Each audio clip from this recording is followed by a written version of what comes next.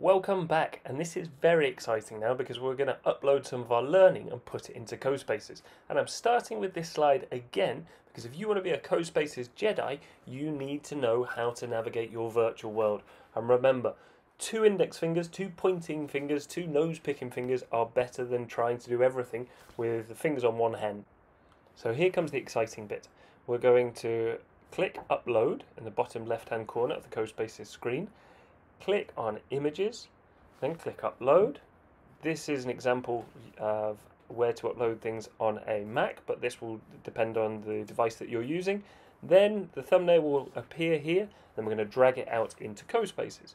So let's go through that. Click upload. It's already selected on images. Click upload. I checked before where the image was. Now I'm ready to open and you'll see a thumbnail is going to be created very shortly. Once that thumbnail has been created, I can drag it out into my virtual presentation space. Please bear in mind as well that it's a good idea to put it close to the wall because we're going to be attaching it in a moment. And you can do everything that we did to the wall um, to this image. You can um, you can resize it, you can translate it up and down, you can move it left, right, backwards, forwards, and you can also rotate it. Now we have your image in the virtual space, we're going to attach it. So I've clicked on the image, I've pressed A, and all these blue dots will appear, and that's where I can attach my image to. And I can also resize once I've done that. So let's click on the image, see all the blue dots, and here I get a choice of where to put it, thinking about I need to make it visible for my audience. If I click up here, are my audience going to be able to see it? No. So let's undo that. Let's click A again. And no, that's no good either, so undo. I'm going to put it in the middle of my display board to make it as easy as possible for my audience to view it. And then I'm going to resize it because I'm proud of my learning and I want people to be able to see it nice and clearly.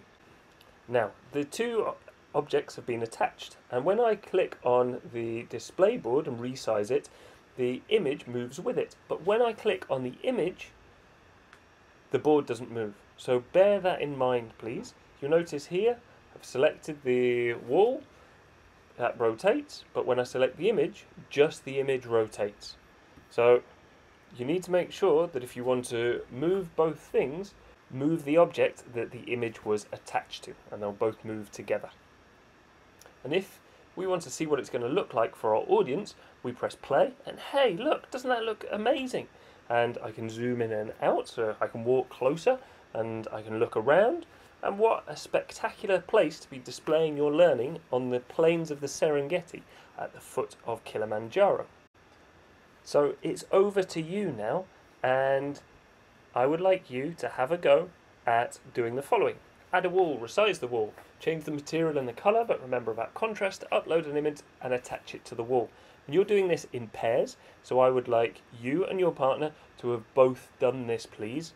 You can have a wall each, or you could even have a couple of walls, and each of you are going to display your collage that you did last week. If you didn't do the collage last week, don't worry, you can choose another bit of learning that you can display. It could even just be a screenshot of something that you've done in Google Drive, for example. That's super duper exciting, and I really look forward to seeing the different places that you're going to be displaying your learning. And the following week, we're going to be looking at adding some text, making it more interesting for our audience. I'd like to finish with a big shout out to Curtis for letting me use his fantastic collage as an example. Thank you very much.